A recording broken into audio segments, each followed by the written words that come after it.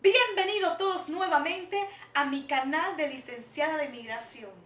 El gobierno de Joe Biden no renovará las restricciones por visados laborales impuestas con el presidente Donald Trump, que expira este miércoles, según confirmado varias fuentes de la Casa Blanca, el diario Wall Street Journal y el servicio de noticias Bloomberg. Las provisiones han estado endurecidas significativamente la inmigración legal de Estados Unidos desde que fueron adoptadas en junio de 2020, bajo el pretexto de proteger los empleados estadounidenses en medio del golpe económico de la pandemia de COVID-19 afectaron en concreto las visas temporales de trabajo H1B mayormente utilizadas por los trabajadores de empresas de tecnología, las visas H2B para trabajadores temporeros no agrícolas, la visa J1 de intercambio cultural y las L1 para gerentes y otros empleados clave de corporaciones multinacionales.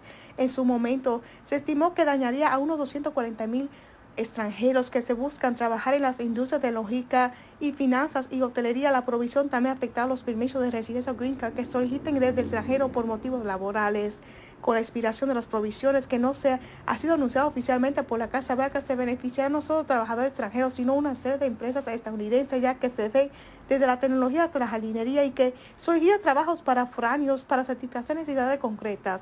Sin embargo, como aún se mantiene la restricción de viaje en muchos países por la pandemia, es posible que el levantamiento de la provisión no beneficie inmediatamente. Las limitaciones siguen vigentes en la mayor parte de Europa, Brasil, China, Irán, Sudáfrica, donde los consulados estadounidenses no están emitiendo visas en la regularidad habitual. Ya ha habido levantado parte de esta provisión el mes pasado, en concreto aquellas que bloquean entrada a los Estados Unidos familiares ciudadanos estadounidenses, algunos inmigrantes con tarjeta de residencia basada en el empleo y las planadoras de la Lotería de Visa Diversidad.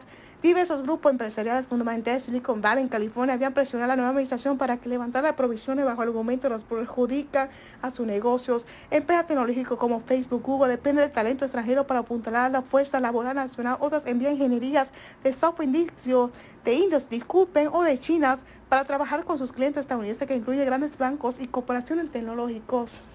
Recuerden de suscribirte a mi canal Licenciada de Inmigración, activar la campana de notificaciones para que reciba notificaciones cuando suba nuevo video, darle me gusta, comentar abajo y compartir. Bendiciones a todos.